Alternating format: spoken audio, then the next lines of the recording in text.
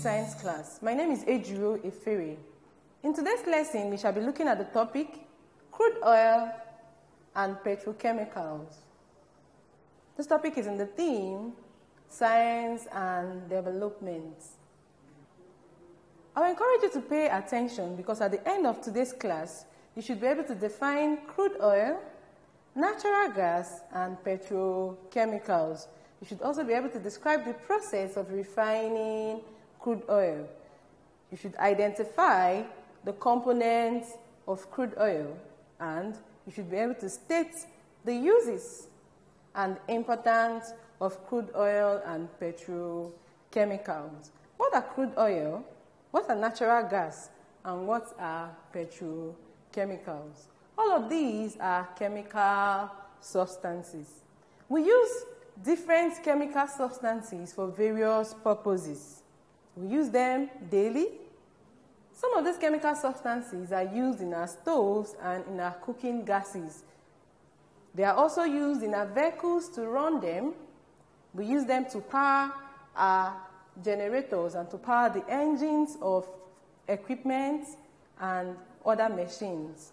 Examples of such chemicals, chemicals used for these purposes are kerosene, to, power, to fuel our stove, diesel, petrol, cooking gas, and so on. These types of chemicals are called petrochemicals. Why are they called petrochemicals?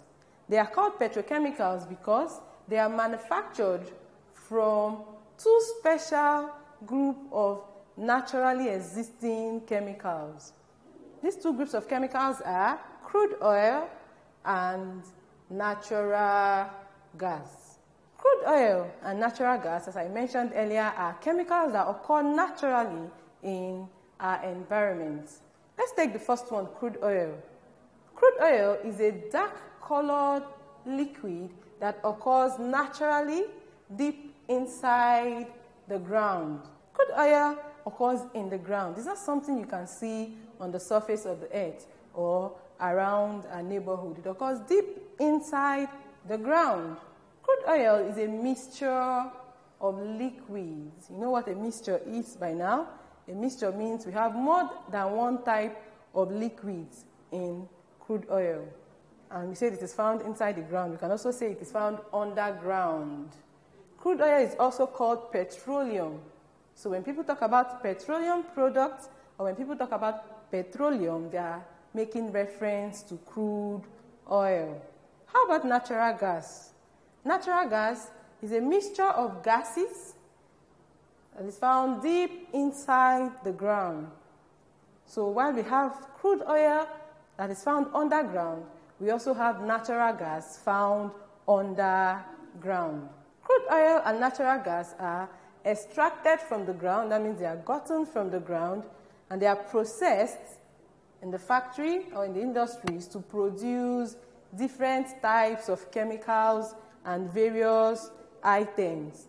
All of these chemicals and items that are produced using crude oil and natural gas are called petrochemicals. Isn't that interesting? So we get crude oil, we also get natural gas, and we use them in various industries and factories to manufacture petrochemicals. Is this crude oil formed in the ground? How did it get underground? Crude oil and natural gas are formed as a result of the breakdown of living things which died millions of years ago. So, plants and animals that died millions of years ago were buried inside the ground and they began to break down they broke down to a point where they became crude oil and natural gas. Let's find out how this happened. We said this breakdown occurred due to the effect of heat, pressure, and the activities of bacteria on the dead plants and animals. You know, when a living organism dies, it is expected that that living it is expected that the body of that living organism begins to decay. This decay is due to the activities of bacteria, the effect of heat, and also the effect of pressure. When all of these act upon the dead animal or plant body parts, it breaks down. In some cases, it goes deep, deep into the ground. It continues to break down. And after several years, we say millions of years, it breaks down to a point of becoming crude oil and natural gas. Sometimes these living things died on the ground, and at other times they died at the bottom of seas and ocean. Wherever the dead bodies were found, they broke down in the same manner to give us crude oil. So, crude oil and natural gas is also not found in every country of the world.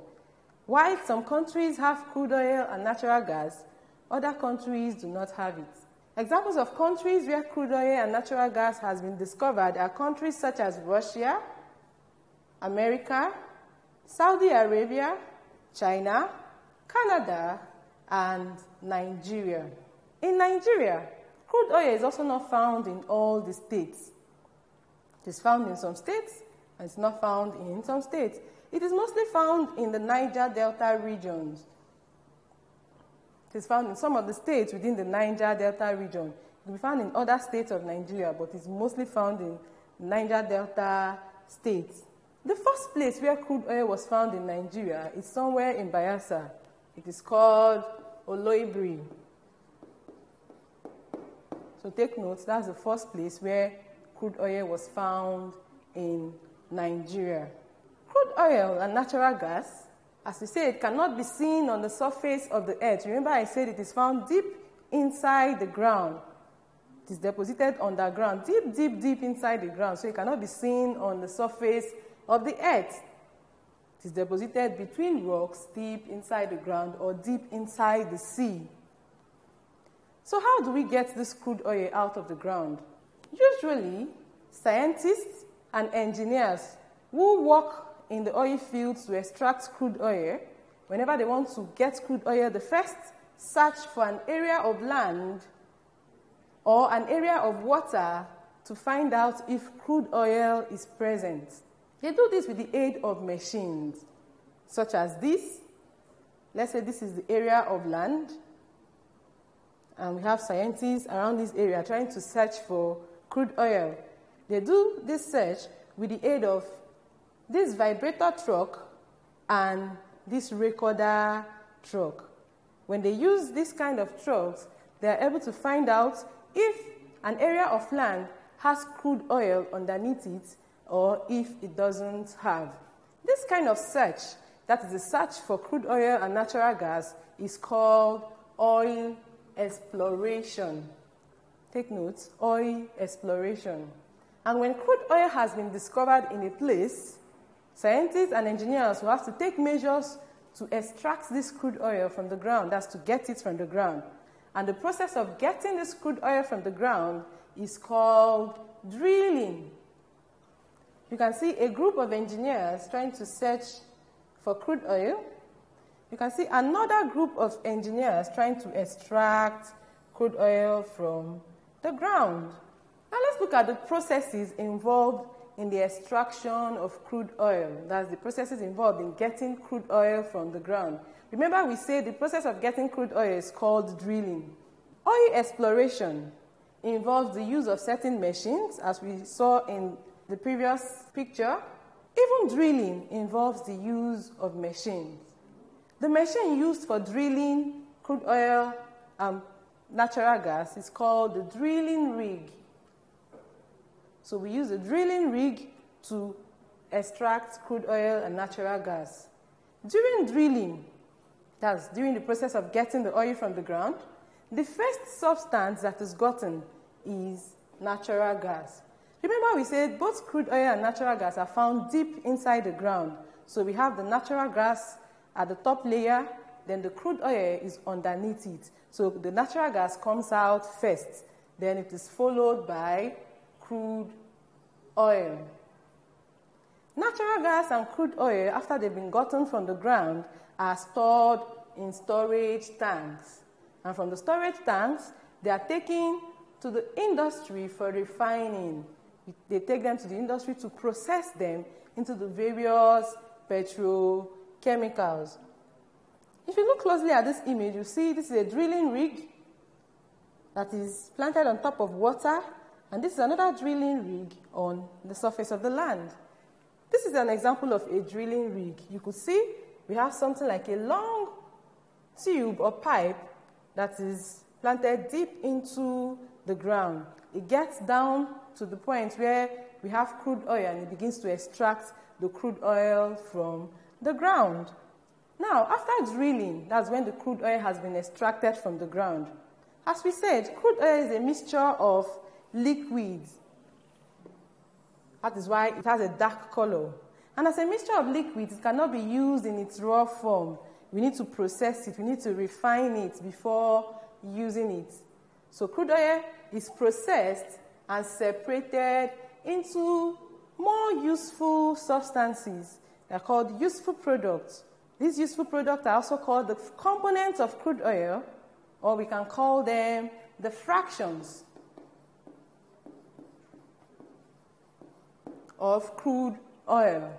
The fractions or components of crude oil are separated using a separation method called fractional distillation. Don't forget, we use the separation method called fractional distillation to separate the components of crude oil. This is an example of what fractional distillation looks like. In fractional distillation, crude oil is gotten from the storage tanks and we pour it into a gas furnace. This gas furnace is usually heated. It's heated at a very high temperature between 500 to 600 degrees centigrade. It is very high. Now, as the crude oil begins to heat, as it begins to boil, it is expected that the various liquids that are part of crude oil will boil at different temperature. Let me also mention this. The fractional distillation as a method of separation is used to separate mixture of liquids that have different boiling points. So when you have more than one liquid mixed together, it's expected that one would boil at the temperature of 100 degrees centigrade and another may boil at the temperature of 200 degrees centigrade. So as this liquid begins to heat, the different liquids boil at their various temperatures and they are separated.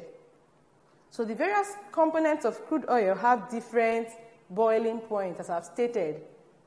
So as the crude oil begins to get hot, as it's heated, each component flows as vapor. They flow through different tubes into different tanks where they are stored. Let's take a look at the fractional distillation. This is the gas furnace, the whole of this this is a tank where we pour in the crude oil, and this is the heating chamber. It's expected that at this point the crude oil is being heated. And as it continues to get hot, the different fractions flow through different tubes into their various storage tanks. They flow as vapor. Remember when a liquid begins to boil, it changes from the liquid state to the gaseous state, and it comes out as vapor. So when the liquid, when the crude oil begins to boil, the different liquids are released as vapor. And they begin to break down into their various fractions. This is one fraction. This is the tube for the next fraction. This is the third, and so on. As these various gases flow from the fractional distillation chambers into their storage tanks, it's expected that the temperature begins to reduce. That means the, liquid, the gases begins to cool down.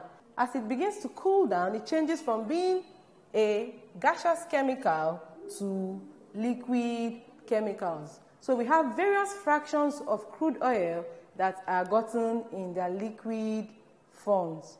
Now let's take a look at the fractions of crude oil. They include petroleum gas, it is also called refinery gas. This is the first fraction that is gotten from the distillation of crude oil. It is the first because it has a very small boiling point. It begins to boil at the temperature of 20 to 30 degrees centigrade. So it is the first liquid that boils and it comes out as vapor from fractional distillation. The next one is petrol. Petrol is also called gasoline. Petrol, we, are, we know what petrol is. We have naphtha, that's the third one. We have kerosene. We also have diesel, lubricating oil. That's this kind of oil used to lubricate different parts of metals. We have fuel oil, bitumen. Bitumen is used for the construction of roads and other structures. Natural gas is also refined or processed like crude oil. Natural gas is processed in the industry to give us dry natural gas. This dry natural gas is commonly referred to or usually known as methane. Although we can process natural gas to have other chemical substances such as propane and so on. We use methane as fuel for cooking. We use it as domestic fuel in our gas. There's a gas cooker at home. You can use methane as fuel for cooking. Methane can also be used to operate the engines of vehicles and machines. So they can also use them as fuel to operate engines of vehicles and machines. Natural gas can also be processed to get other chemicals. And they can also be processed and used to manufacture various items in different industries.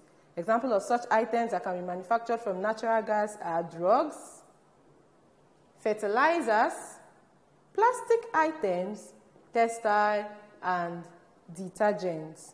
Having learned about the process of extracting and refining of crude oil and natural gas, I'd like us to look at the various uses of crude oil. One, took a look at the first fraction. We say the first fraction is petroleum gas or refinery gas. It comes out as gas. It comes out, we get it as gas. But sometimes the petroleum gas is liquefied to give us liquefied petroleum gas. The uses of liquefied petroleum gas are as follows it is used as fuel for cooking, it is used for the operation of vehicles, they call that auto gas. It is also used as refrigerants. We use it in fridges to operate fridges properly. The second is petrol, that's gasoline. Gasoline comes out as liquid. Gasoline is used as fuel for vehicles, for the engines of vehicles. We have naphtha. Naphtha is also called ligorine. Naphtha is gotten as liquid and it is processed further to get other chemicals. We process naphtha into different chemicals, and these chemicals are used in various industries to manufacture other items, such as plastic. Kerosene. Kerosene sometimes is called paraffin. Kerosene is gotten as a liquid and it is used as fuel for cooking. We use kerosene in our stoves. Kerosene is also used to power the engines of aircraft or airplanes. So we call kerosene, sometimes it's called aviation fuel. The next one is light gas. Light gas and heavy gas are part of fuel oil. They can also call them fuel oil. They are gotten in liquid form. The light gas is used as fuel to power vehicles and machines. Heavy gases are used as raw materials to manufacture industrial products. Lubricating oil. Lubricating oil come as liquid and they are used as motor oil to grease and lubricate various metal items. Paraffin wax. Paraffin wax is gotten as solid and it is used as raw material to manufacture items such as candles and crayons. Asphalt. Asphalt is gotten in its solid state and it is used for the construction of roads and other structures. Apart from the uses we have mentioned, the various fractions of crude oil or the various chemicals gotten from natural gas as, are used in industries to manufacture several items. Here is a list of some of the items that are manufactured from the fractions of crude oil and natural gas.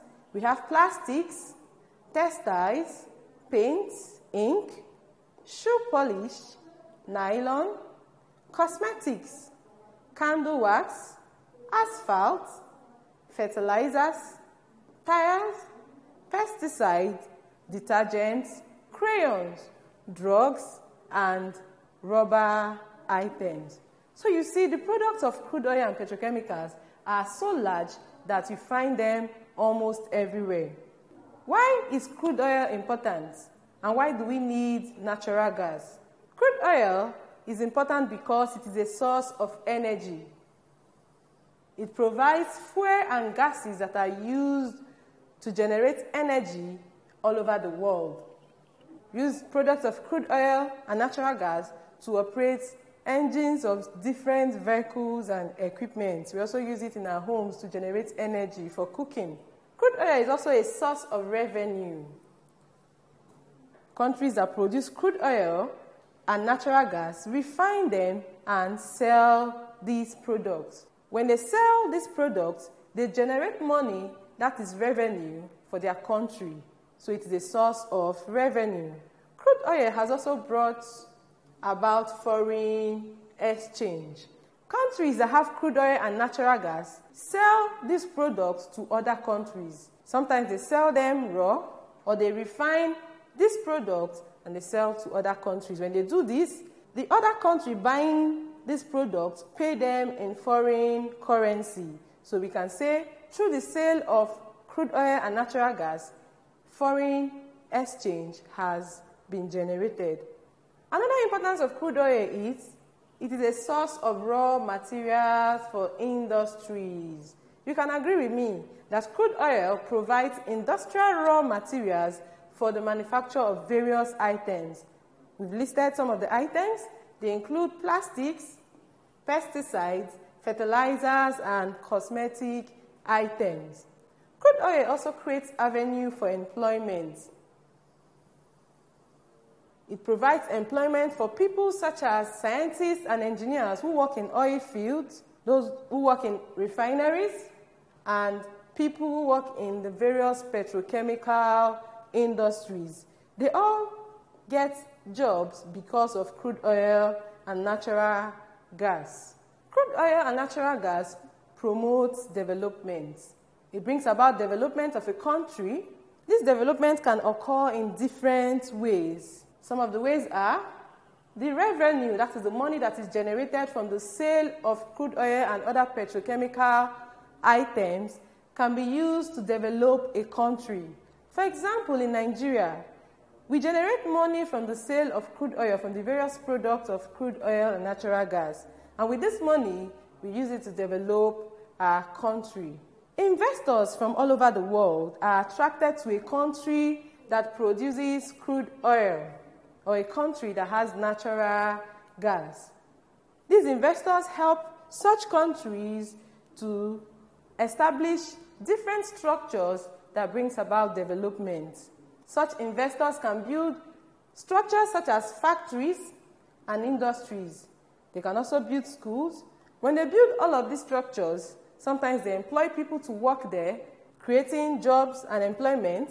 People that work in such factories are paid, and from their salaries, they also pay their taxes. And with the taxes, the country develops and grows. Some fractions of crude oil, such as asphalt and coke, are used to construct roads and other structures in a country. And with the construction of roads, of course, we can say a country is developed. You will agree with me that crude oil and natural gas are very important to any country. And a country that has it, indeed, is blessed. At this point, we'll summarize all we've been learning in today's lesson. We said crude oil and natural gas are substances that are found deep inside the ground. They occur naturally. Crude oil and natural gas are formed as a result of the breakdown of living organisms which died millions of years ago. We also said petrochemicals are the various products that are derived from crude oil and natural gas. We said petrochemicals are used as fuel for cooking, the operation of vehicles, machines, and equipment, and they are also used for the manufacturing of various items. Crude oil is important because it generates revenue, it provides energy and raw materials, it brings about foreign exchange, it creates employment, and it promotes the development of a country. At this point, I'd like to test how well you've learned from this lesson by taking this question. Which of these is not a component of crude oil? A. Naphtha. B. Bitumen. C. Natural gas. And D. Kerosene. The correct answer is option C. Natural gas. Natural gas is not a fraction or a component of crude oil. It occurs deep inside the ground on its own. We have come to the end of this class. I hope you've learned a lot, and I hope you understand what crude oil, natural gas, and petrochemicals are. I hope you can identify the various petrochemical products around you. I hope to see you in our next class. Bye.